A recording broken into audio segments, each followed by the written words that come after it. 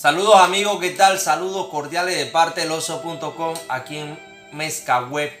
Bienvenido a todos amigos. Estaba haciendo una reflexión sobre lo que es el sentir del amor en el sentido de que en tiempo pasado cuando uno tenía algún presente para aquella doncella con respecto a mi esposa, eh, estaba analizando que ya las poesías, los poemas eh, están dejando de funcionar porque eh, siempre hay corazones heridos que, muchas veces van todo por el todo con esa persona que aman y esa persona realmente defrauda tanto para la mujer y tanto para el hombre y se ha perdido ese concepto de amor porque todo dice te amo, te amo, te amo, te amo. Es una palabra mal usada porque realmente el amor es fidelidad, el amor es paz, el amor es paciencia. No me la sé toda, no soy el hombre perfecto.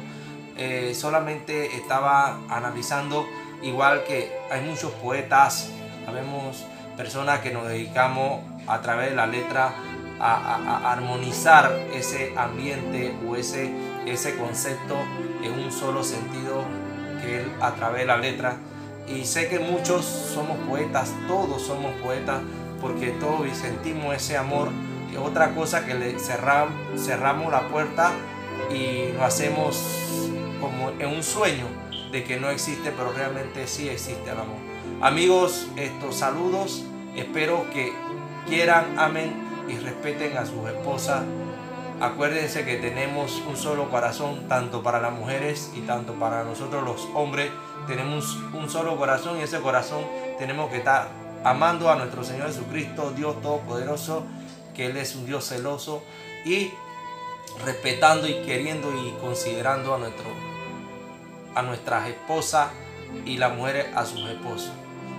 No perdamos más el sentido de lo que es el amor en términos de romance, aquel romance en los tiempos de antaños se vivían a través de la carta y a través de la poesía que engalanaban aquellas doncellas y se esperaban hasta tres días, cuatro días para que se llegara ese día esperado, porque en esos tiempos no había WhatsApp, así que ellos con día anticipación acordaban una fecha de encuentro y ese era algo que me imagino vivían el amor así eh, eh, eh, penetradamente en el sentido de la palabra de pensamiento.